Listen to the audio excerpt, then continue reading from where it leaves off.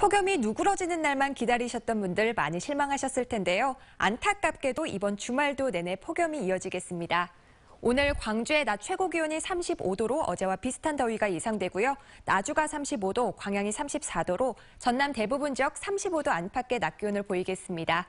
구름 영상 보시면 우리 지역 오늘 비 소식 없이 구름이 가득 낄 것으로 예상됩니다.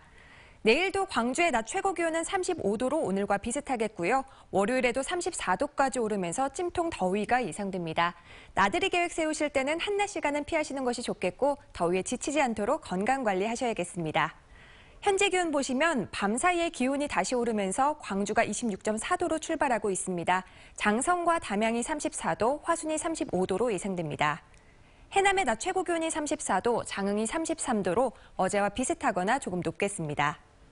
곡성과 구례가 35도, 순천도 35도의 낮 기온을 보이겠습니다. 전 해상에서는 안개가 짙게 끼겠고요. 물결이 조금 높게 일 것으로 예상되니까 항해나 조업하는 선박들은 각별히 유의하셔야겠습니다. 무더위가 이어지다가 절기 처서인 화요일이 지나면서 기온이 점차 떨어질 것으로 예상됩니다. 날씨였습니다.